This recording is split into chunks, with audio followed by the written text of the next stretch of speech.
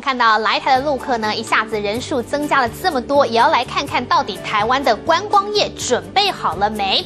放鸽子的事情呢？那么到底是不是租不到旅游的这个游览车是数量不够吗？还是这个呃供过于求？我们看到呢，这个游览车的同业就说了，实在是因为呢，很多的旅行社他们要抢陆客的生意，车资压的实在是太低了，对他们来讲呢，那么他们所要求的这种流血价要付这个呃。司机的费用还有呢，呃，油费根本不够，所以他们宁愿不出车。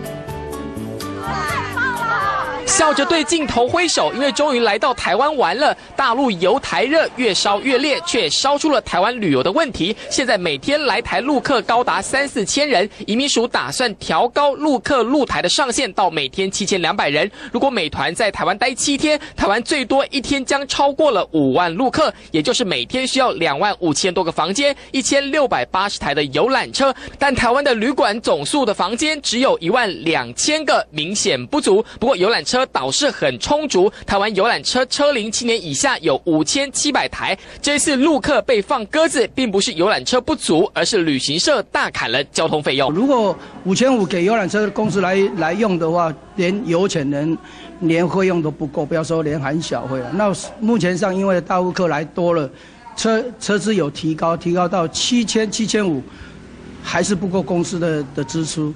高雄市游览车工会监事就说，在旅行社打压下，只有五千五百到六千元的交通费，连油钱和司机小费都不够，至少得要缴付一万元才愿意出车。随着五一连假要到了，大陆团势必急剧暴增，调度游览车如果再出错，肯定会影响到台湾旅游业的声誉。中天新闻翁崇文、刘义清、蒋新梅，台北、高雄综合报道。